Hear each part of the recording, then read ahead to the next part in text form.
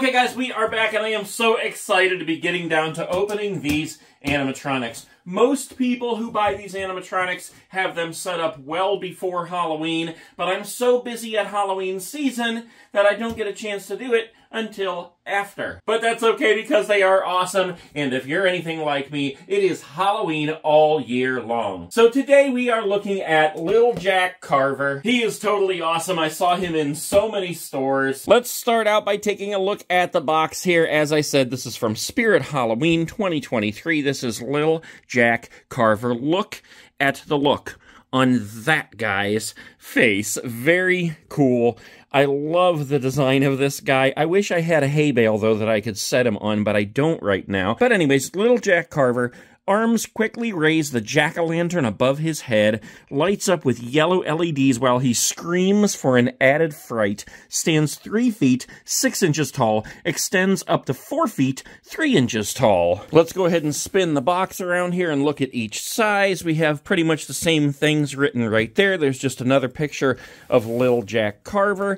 On the back here you can see that he was $169.99 and with anything you buy at Spirit Halloween, I will always remind you you that you can get 20% off, whether it is in stores or online. With that being said, here is a story about little Jack Carver. You can read that on the website, or you can pause this and read it for yourself right there. Here it tells you some things you need to know about him. Sensor activated volume control adapter, external speaker jack, blah, blah, blah. It has that on all of these, so you pretty much know what you're looking at. Little Jack Carver, here's a picture on the back of him with his head down, with the pumpkin down over his head, I guess I should say.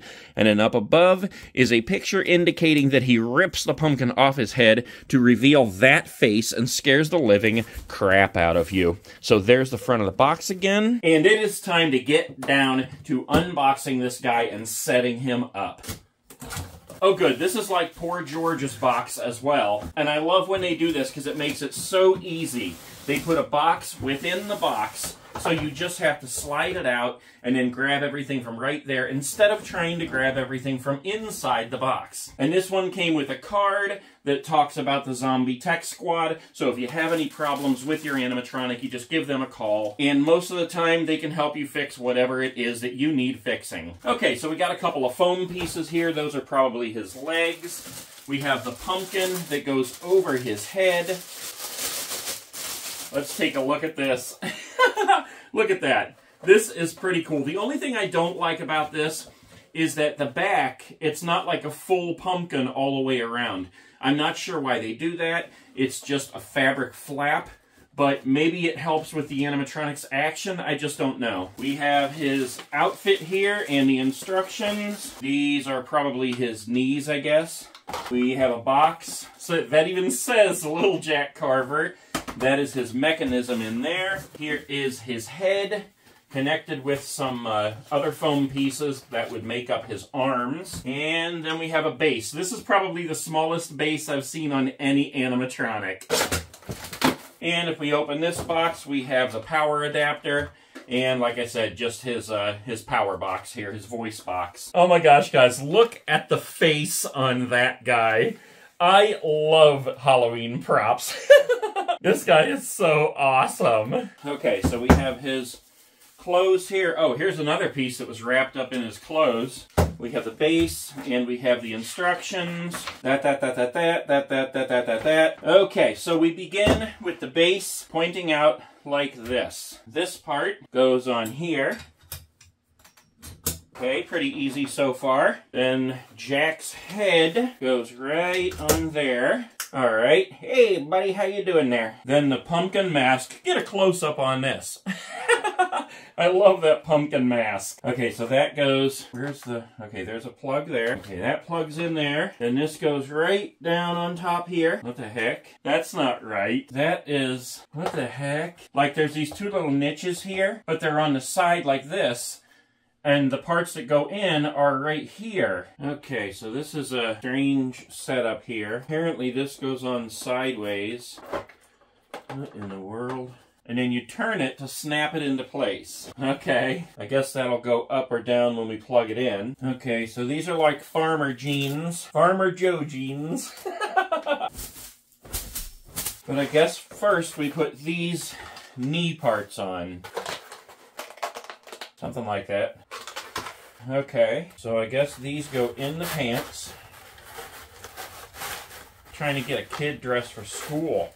And this wraps around the top. Why do I have so much difficulty putting these things together? Put the pants on under the leg form. Okay. What?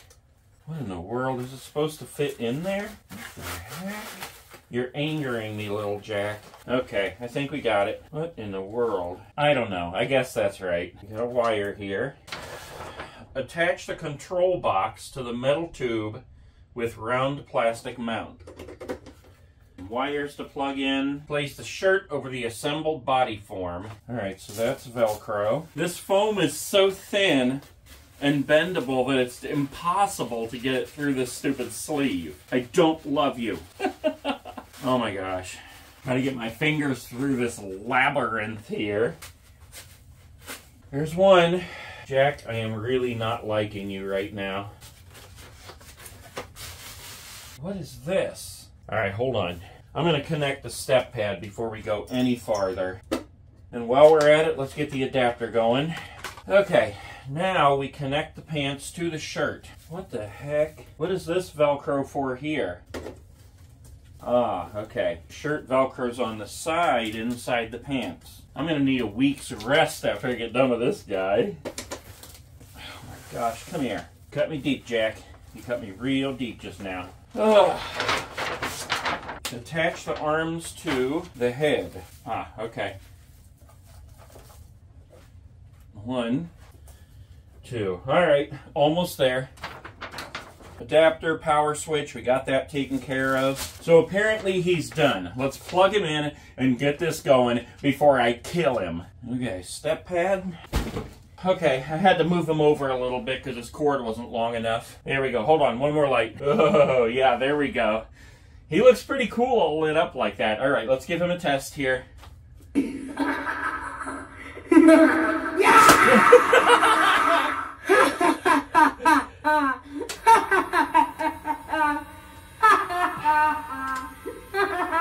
he ripped that thing off his head so fast. That was crazy.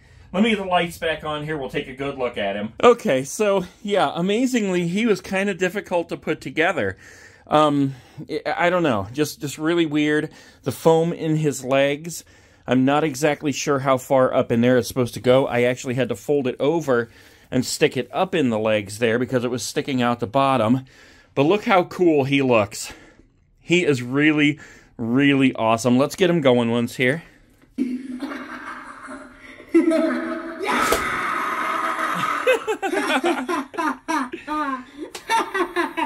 Very cool. His laugh kind of reminds me of Johnny Punk. I don't think it was the same person who did the voice for Johnny Punk, but he does sound a lot like him. I do like how the pumpkin stays lit, too, the whole time. Because that way, if you walk up and you see him on the porch, he's already lit up, you don't expect anything. But if he wasn't lit up and he didn't light up until you tripped him, then you would know that something is coming. So you walk up on the porch to get your trick or treat, he's already lit up, and you're like, oh, look at this cool little pumpkin boy. and he scares the living crap out of you. Alright guys, well there he is, little Jack Carver. Let's turn him this way a little bit, that way he's facing you. He is an awesome animatronic, I'm so glad I bought him. And when he rips that pumpkin off his head, it's so fast and he's so loud that it literally scares the crap out of you.